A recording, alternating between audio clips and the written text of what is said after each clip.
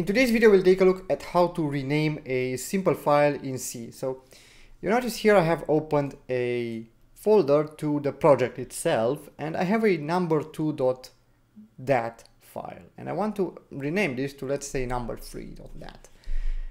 How to do this? Very simple. There's a function called rename. So rename and it takes in two parameters the old file name that is going to search for and the new file name that is going to rename to.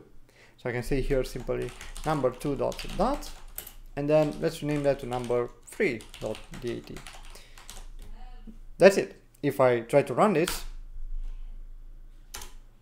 you'll notice that now number 2 is number 3 dot dot. So we did rename this one properly.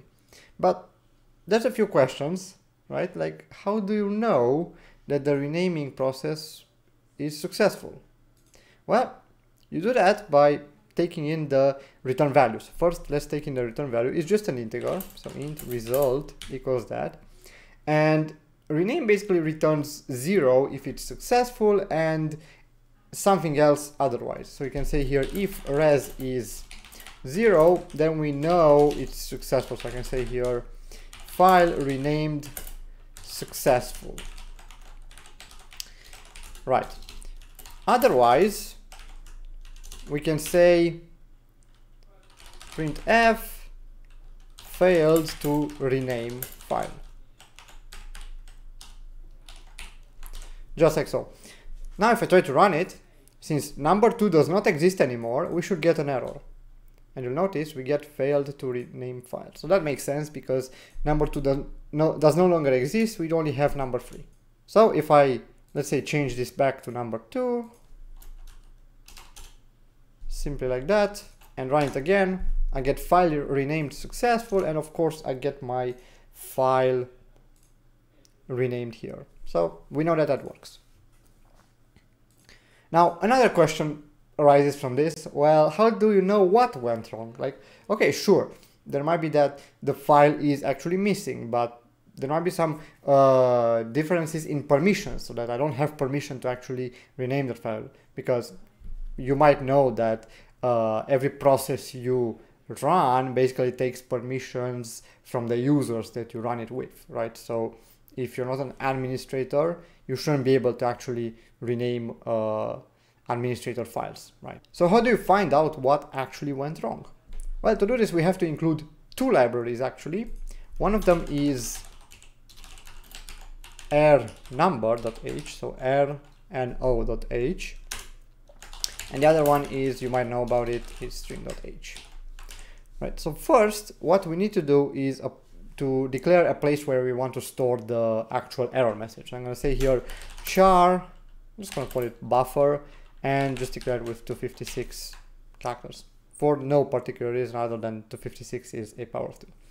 Now, what happens behind the scenes is that rename actually aside from just returning a result, it also sets a certain global variable called errno, right? And this errno is a number that can be translated into a string through another function call, right? So I can use here the function call strerror underscore s because I'm using a newer compiler and it's recommended that you use this instead of the normal str error function, but str error underscore s takes in a basically a place in memory to store the error message. I'm just gonna pass in the buffer and the amount of characters I have at my disposal. I'm gonna say here 256 and the error number itself. So here I can pass r no.